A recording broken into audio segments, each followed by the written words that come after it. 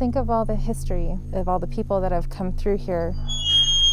The Old Idaho Penitentiary was opened between 1872 and 1973. When people come here, they get that heavy feeling, that sense that uh, sometimes they're being watched, sometimes that they just sense sadness. And of course, we're bringing those stories to light all of the time through the history that we tell. The last time I was here, I believe I saw your shadow. Can you show me again? But we also encourage people come on down, share your stories of paranormal experiences with us because there was violence, there was death and destruction. I'm looking for Raymond. Is Raymond here? Heard you committed a really nasty crime. Want to tell us about it? There were around 130 deaths that occurred here at the site. Everything from the 10 folks who were executed to murders, suicides, diseases, natural deaths. You see the remnants of the past. You see these buildings that were burned down and destroyed. No, we didn't let them go as the Historical Society. We kept them in the context of, of what happened here. And so that's why we're not going to rebuild these buildings because they tell a story. And we're going to continue that story and we're going to create the historical context so you don't just see ruins, you hear and understand the story behind it. You guys know who Jack the Ripper is, right? Yeah.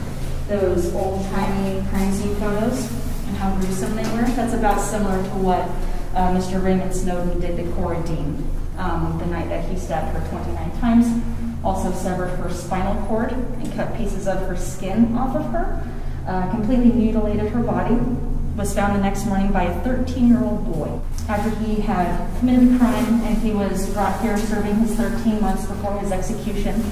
Uh, the day of, the chaplain came in and asked, you know, do you think anybody could forgive you for your crime? And he said, I don't expect anybody to. He was like, what about God? You know, do you expect God to forgive you? And he said, not even God could forgive me for what I've done we absolutely have an acknowledgement that you know ghost hunters are, are sort of drawn to this place being this kind of abandoned old prison.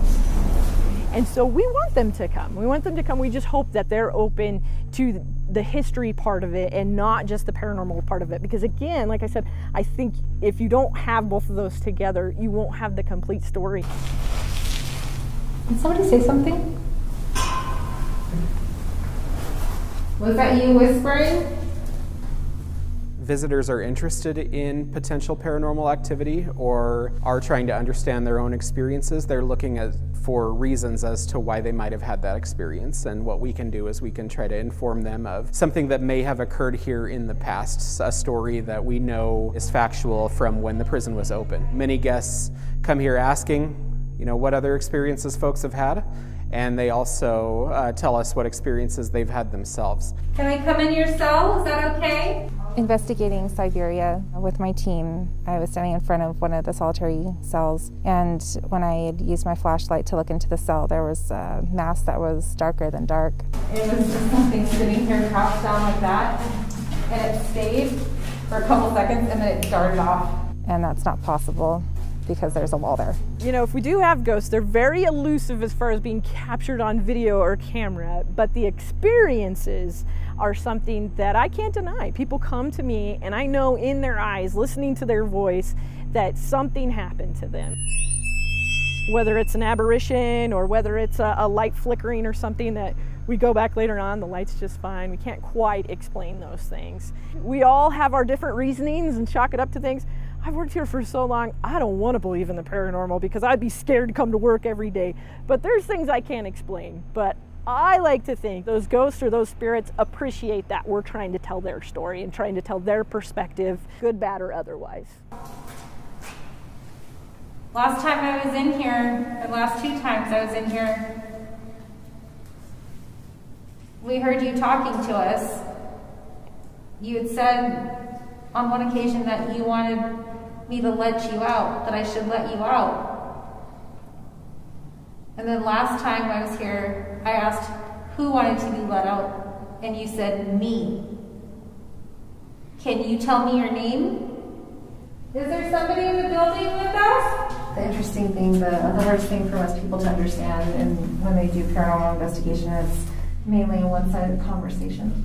A lot of times I say, you know, if you want to ask a question, and you just feel awkward just talking to avoid, you know, nothing, you can always look at me and ask the question. I just won't answer you. Was that you moving upstairs? Those events that we have, all that money goes back to the Historical Society to preserve the site, to preserve our education programs. And we're lucky enough and fortunate enough, we use Big River Paranormal. 100% of those proceeds come right back to us. So they don't take any cut from that.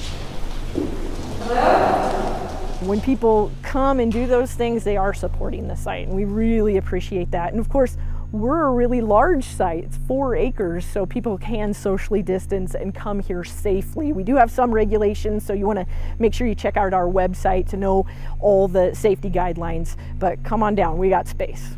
Do you like staying here? It's fun to take people out on investigations because you get to watch them experience things that they've never experienced before, especially when we do have something paranormal happen. I think I saw you when I when we were coming into the building.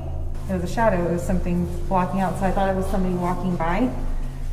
And that's why I had the employee walk out and around the building to see if it was casting a shadow here, and it didn't. It's a reflective space, and so for some people that are super sensitive, maybe to those uh, those spirits and those feelings, um, it can be a little scary. But again, once we put it in historical context, I think that sort of helps people maybe become a conduit or maybe become something where they can further that story so that spirit or somebody something that's dissettled can be at ease because it, once there's understanding maybe they can let go of those things